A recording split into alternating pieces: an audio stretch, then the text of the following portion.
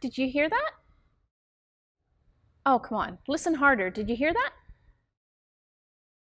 Oh, okay. Well, of course you didn't hear it because that was my body talking to me. And I'm not going crazy, just so you know. Today I want to talk to you about listening to your body and how we have the most amazing kinesthetic being and tools within our hands that far outweighs a lot of diagnostic tools in hospitals. Uh, now, don't get me wrong, I think they're absolutely amazing. If I break my bone, I don't want to just kind of guess myself and think, well, I just know my bone's broken, so I'm just going to have it rebroke or set, that kind of thing. That's not what I'm talking about. I'm talking about how you, as the human mammal, have a connection to your physical body. And when we are really connected to our physical body, it's communicating things to us all the time. But there's different messages, and what we need to do is to start to understand and learn what the communication is saying to us and the different things it's trying to communicate. So here's an example. People will have experiences of craving certain foods at certain times in their life. And that can actually be because you have a nutritional deficiency. Okay, so you might crave, you know, um, citrus when you're vitamin C deficient. Okay, something like that.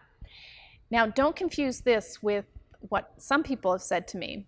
You know, I was listening to my body, and I'm not joking. This is absolutely true. I, a woman in Australia once said to me, she said, I was listening to my body, and I just woke up, and I just knew I needed sugar, so I had like a Mars bar and a Coke for breakfast and she did not break a smile. She was absolutely certain, and that was her version of listening to her body. And it's true, her body was screaming at her, Mars bar, Coke, okay? But that's because she was totally addicted to those things. She was a complete sugar addict. I know it because I've been there, right? Um, but that message is not actually the healthy part of your body communicating to you. It is now the imbalance in your body and the you know microorganisms in the gut that are overgrown that are actually literally speaking speaking to you to feed them more, right? So how do we distinguish the difference? Well, in most cases, those strong kind of craving, really, you know, loud messages are usually our addiction talking to us. When it is your body that's actually communicating to you to tell you whether you need something or maybe something that you're eat, eating has not is not actually sitting well with you, tends to be a little bit more subtle. So you can actually have cravings for foods. And I'll tell you this, if you're craving a food and it comes in a shiny package and it has lots of ingredients in it and chemicals in it and it's highly refined, that's addiction talking to you, okay? Even if it's just ice cream and it has five ingredients in it and one of them is refined sugar, or even if it's just like dairy, that is addiction talking to you. The body actually, when it's craving a nutrient that is deficient in, is usually a lot more subtle.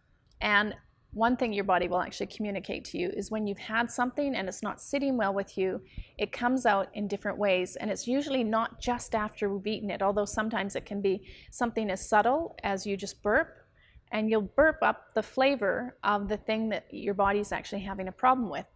Now, it can be this is where it gets a little confusing because you can actually burp up the sensation of a banana and you're not allergic to bananas, but it could be that you're having conventional bananas or even organic bananas that have been shipped um, and dipped in solutions to make sure that they don't have, you know, um, funguses growing in them.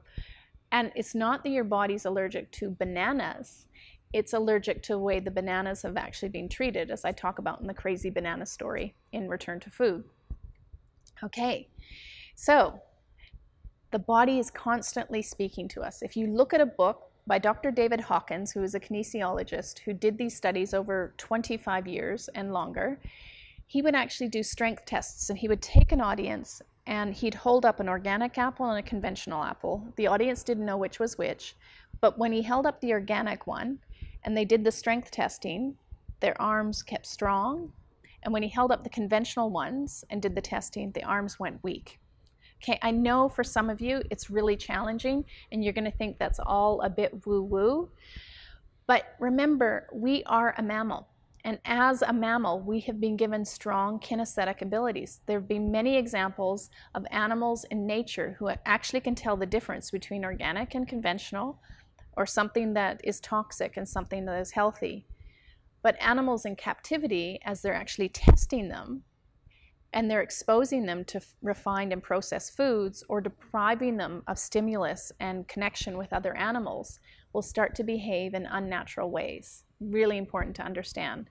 So when they did a rat study and they gave the rat on its own a choice between alcohol and water, it would choose the alcohol. When they took the same rat and put it into a social setting with other rats, you know, who were actually had social interactions, the rat always chose the water. They've done other studies with rats where they have deprived the rat of good nourishing food and fed it a junk food diet.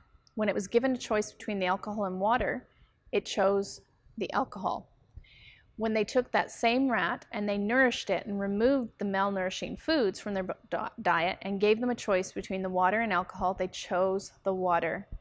So like rats, we are a mammal, and what happens is we are always seeking pleasure over pain. When we're malnourished, we will often choose substances that give us pleasure when we haven't been able to replicate it in our lives. And when we're nourished, we're much less likely to choose the substances and the foods that might make us feel good, you know, temporarily, but will make us feel bad long term.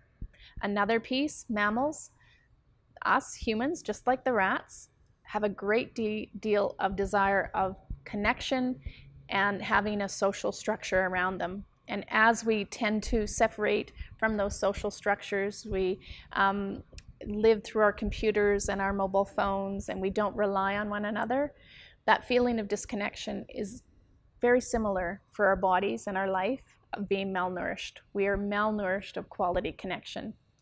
So if you're starting to listen to your body, the first thing you need to do is to get quiet. Okay? There's so much noise around us the best thing you can do is to eliminate highly processed foods because they have no benefit to your life apart from the addictive responses that they're creating and maybe a bit of short-term discomfort that they might be pushing around or distracting you from. And when you get quiet and you start to observe the subtle and not so subtle messages of your body, you learn to distinguish between the addictive responses and basically the nourish, you know, your body communicating as to what it truly needs. You start to listen to the side that's actually going to nourish you. And you start to ignore the voice of addiction. You will start to be making what we call sweet freedom, strong choices for a strong life, which really is the key when you're listening to your body to obtaining sweet freedom.